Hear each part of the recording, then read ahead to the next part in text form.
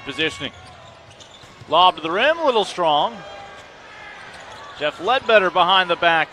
Taylor strips it away, back inside, and the Warriors will come away with the points. Deyonta Davis. Side of close range shot, and uh, last game he was able to knock one down. Didn't do it this time, but I wouldn't be surprised to see him shoot more of those as uh, the shot clock needs him to. Cruz trying to hold on for the final shot.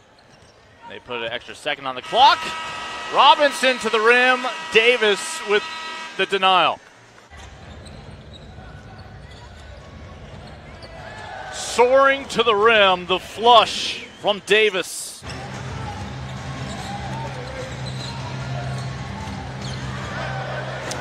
And a high percentage shot from Deyonta Davis. Third place in the Western Conference. Warriors in sixth right now. Davis coming out of the timeout with the response. Another lead change in this game, which has been pretty close lately.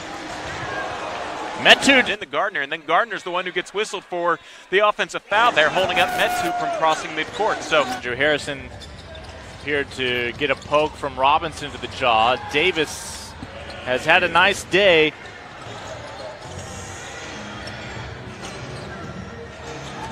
Ledbetter looking for another. Davis forces the turnover. A three gets taken down, but great defense by Keldon on Harrison on that play.